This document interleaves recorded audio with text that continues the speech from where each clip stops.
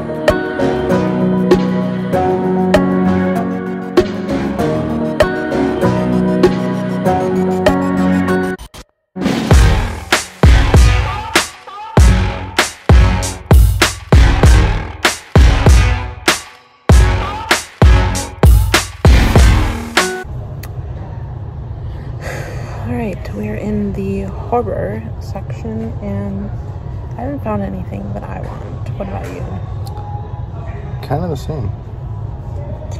The, it's very picked over. We took a whole clip um, showing everything that's in the horror section, but nothing that I'm super interested in. Right? Yeah, no, nothing I'm really seeing either. Especially since we're doing that bookstore thing for us. Pango? Um, yeah, Pango. I don't know why I can't remember the name of it. Um, there's just nothing that really looks intriguing. So yeah. it is what it is.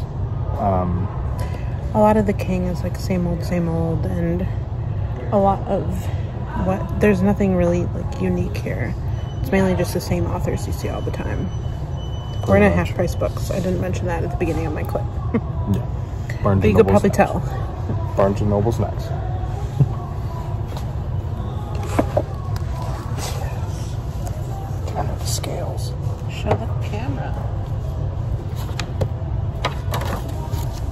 Just found an Eyes of the Dragon with the scaly kind of feel on the cover. So maybe I did find something. Ooh, I've been wanting that. From the author of Jaws in hardcover. That's like, that's it, man. I've been looking for that. no, they actually don't have an it here. That's pretty surprising. Shut up. Yay, I've been wanting that. That's so exciting. Well, we'll have to see Oh, here's another one. Beast. I don't know anything about this. We'll have to see what else we can find. So we'll show you and take you along with. So just maybe found the strangest book. 50 celebrity hauntings. There's the back of it if you want to read that. I will not be getting this, but I've literally never seen them before. Strange.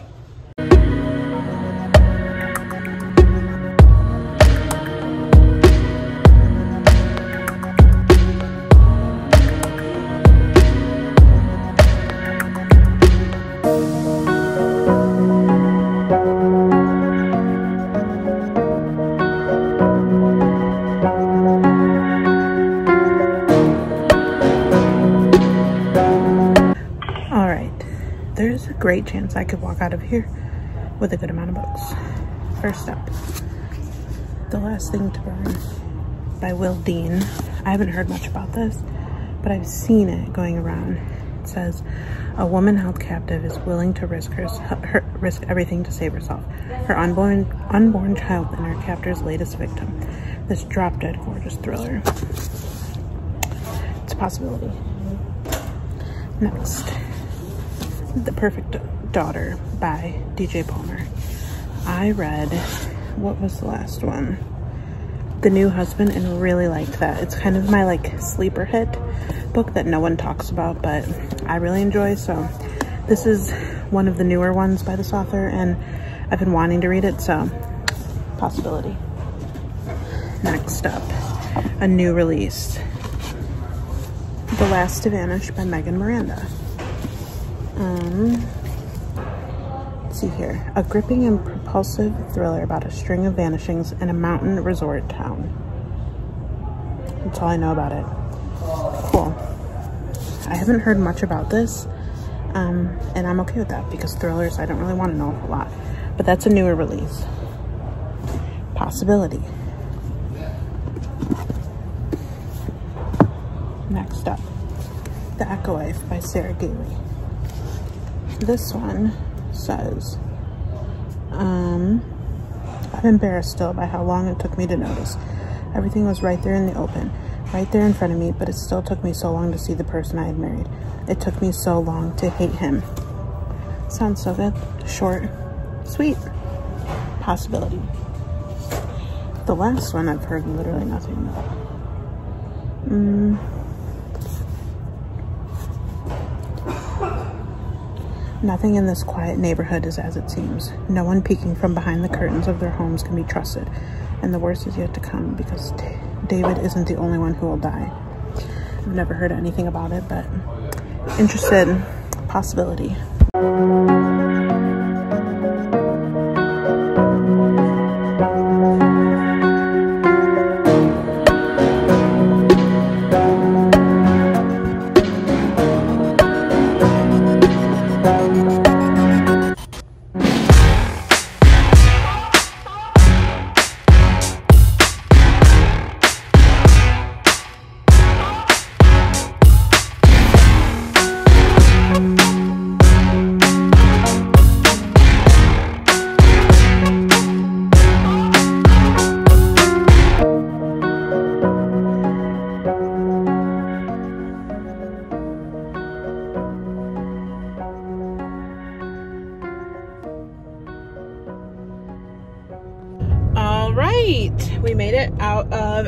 Books.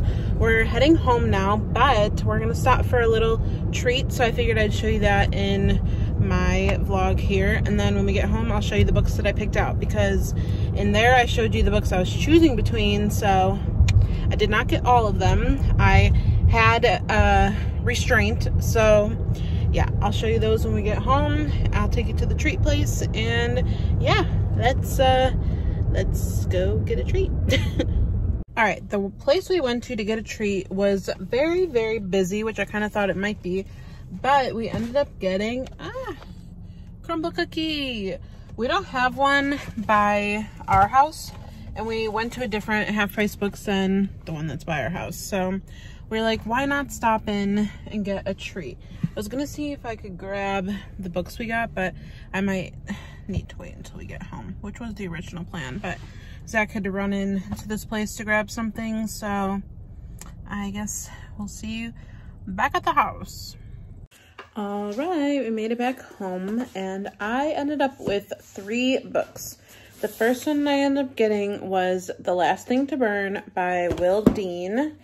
And this one was the one that said, a woman held captive is willing to risk herself, no, is willing to risk everything to save herself, her unborn child, and her captor's latest victim in this drop-dead gorgeous thriller. Looks like it's set on an isolated farm in the United Kingdom. Love it. I haven't heard anything about this book, but I was intrigued by the cover. I was intrigued by the length. It's 230 pages. I mean, what more can you ask for from a thriller? So that was the first one I got. And then I got the Echo Wife by Sarah Gailey. The sticker didn't come out very nicely on this one, but that's okay. I've heard mixed reviews for this one, and I don't entirely know what this one is about except for what I read um, in the store. I can read it one more time. I'm embarrassed still by how long it took me to notice. Everything was right there in the open, right there in front of me, but it still took me so long to see the person I had married.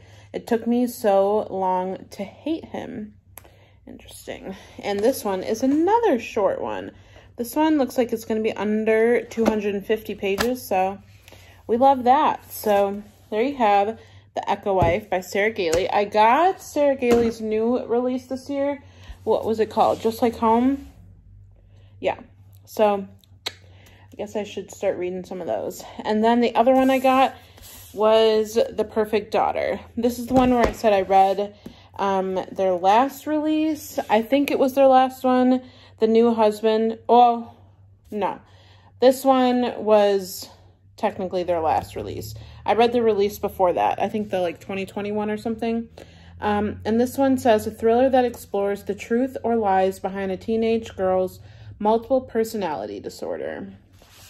This one's a little bit long, but well, it feels long. It's actually, yeah, almost 400 pages. So those are the three books that I got. Like I said, you'll have to check out Zack's video to see what books he picked, but there is my haul, and thank you so much for watching, and here you go. There's my haul.